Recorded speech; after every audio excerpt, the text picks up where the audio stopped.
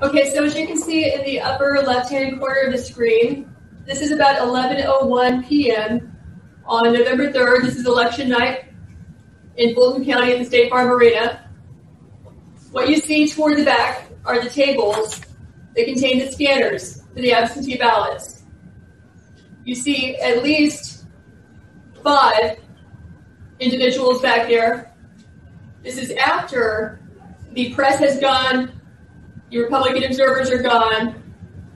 The people who are separating the ballots from the envelopes are gone. So these are the only people left behind.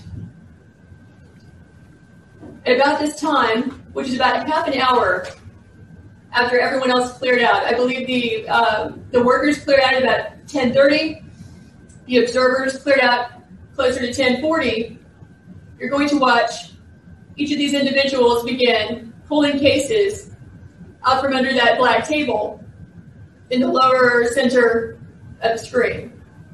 Unbelievable.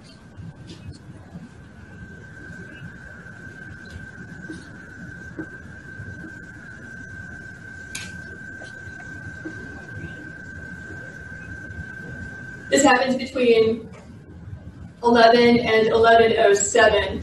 So give him just a second. Here we go.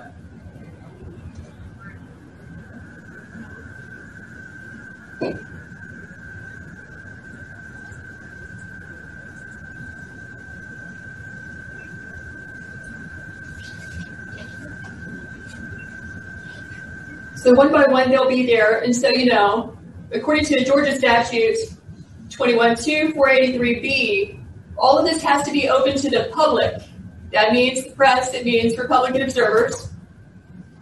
They cannot do proceedings behind closed doors. Proceedings means counting, for example. If they're going to restart the count, then under Georgia statute, it's 21 to 493, the superintendent has to give due notice of when the tabulations process will publicly commence.